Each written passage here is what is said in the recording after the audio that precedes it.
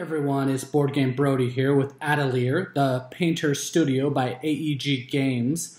Atelier actually means workshop in English.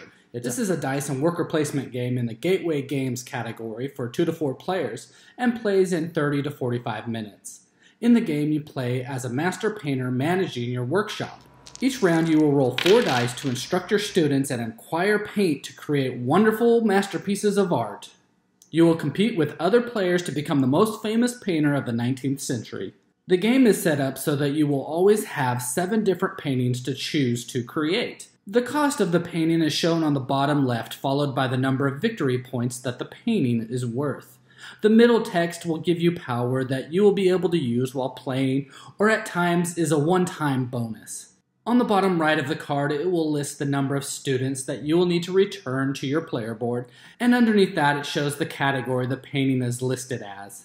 At the very beginning of the game, you will choose one patron card that will help lead your choices in the game and help you gain in-game points by achieving certain requirements. You will also have chances in the game to gather more of these cards to gain more points at the end. A turn consists of using one or more dice to take dice actions according to the number of pips shown on the dice. A 1 or 2, you will be placing a student from your player board to one of the four color piles. A 3 lets you move 0 or 1 student of each player from one paint pile to another. This most likely will mess up their plans and cause them not to have the majority in a certain color.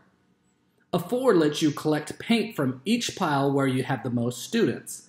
When playing with four players, a tie of having the most will also let you take this action. But in a two to three player game, a tie will not allow you to collect the paint color. A 5 lets you paint a painting, exchanging your required paints listed on the card and placing the painting in front of you. If there is a student requirement, at this time you will return it back to your player board. Also, if the painting that you just acquired has a when painted ability, then you'll be able to perform the action right then and there. A 6 lets you gain one paint from any pile even if you don't have a student in that location.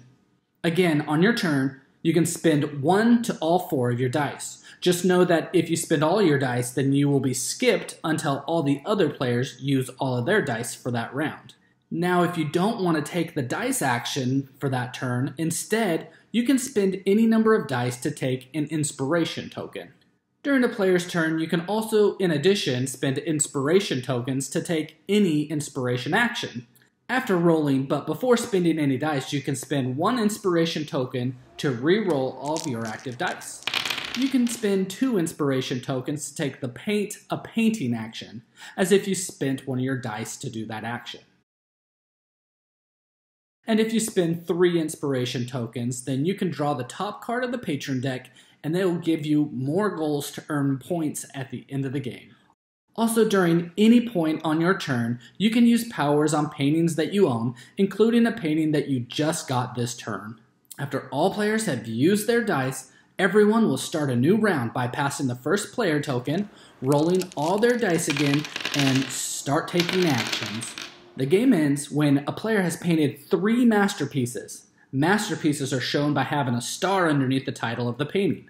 The first player who paints three masterpieces will be given the first player token, and it is worth four points at the end of the game.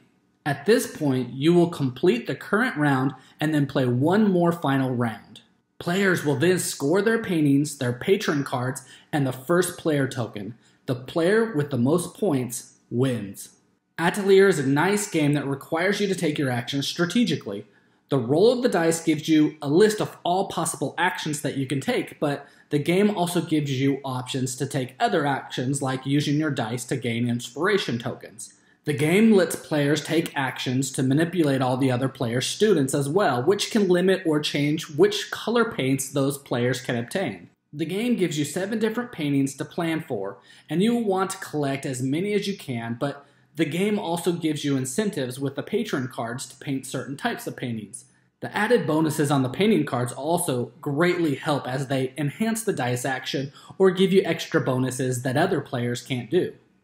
The artistic theme and the strategic nature, yet also simplicity of the game makes this a great gateway game. Again, this is Atelier by AEG. Again, this is Board Game Brody. I hope you enjoyed this video. Stick around and check out some other board game reviews to see what you might want to get to the table.